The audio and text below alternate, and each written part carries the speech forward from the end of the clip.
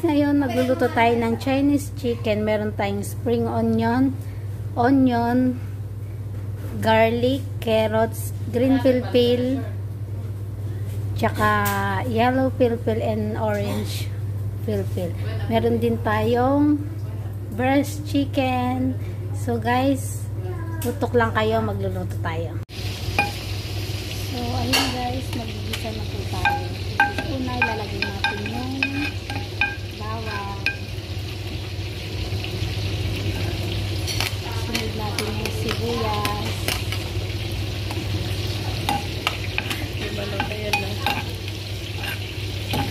Ayan, antayin natin natin siya ng mag-brown.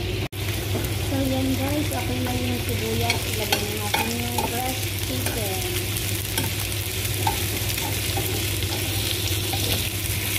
Ayan, halo-halo. Ayan, wait lang natin until mag-brown. Yun guys, halo-haloin lang po natin para hindi siya masinag. Bakit? Yan.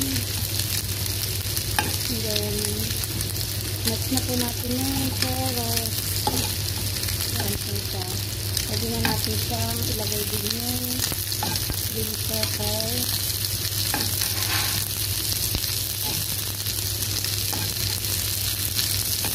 Ay lang po kahit green pepper lang siya, kahit walang yellow.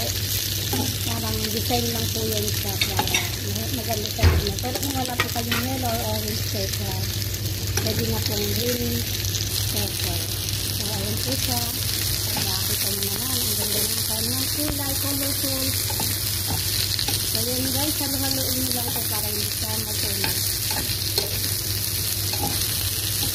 Ayan, diba? Nakita nyo naman. Ayan na rin ito. Tapos, ayun na po, lalagyan natin siya ng sauce in the food. Kung wala naman pong ganyan, pwede po yung ang kulay lang soy sauce tapos lagyan na lang po ng konting asukal. Ito po kasi in the food, tamis na siya tapos para magkulay brown siya.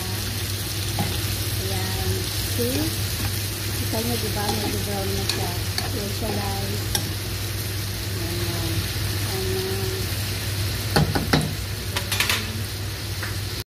Guys, ito siya. Ayan lang po natin siya guys. Siya guys.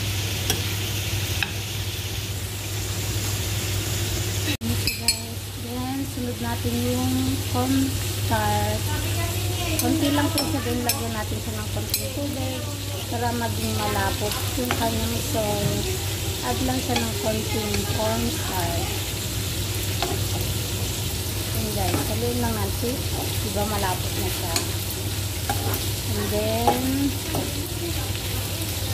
mag-add din po tayo ng konting water. Maglalagay po tayo ng isang basong tubig.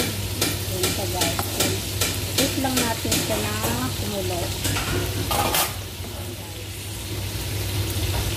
Lagyan natin yung onion spring. Pinakahuli po natin ilalagay yung onion spring guys. Malapit na yun siyang maluto. Ayan, haluin natin.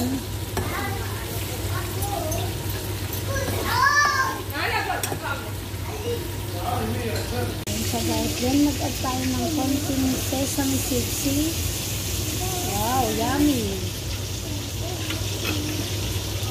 So, close na po natin. Luto na yun siya guys. See? Diba? Simpleng chicken Chinese. Ang sarap nito guys. Try niyo siya.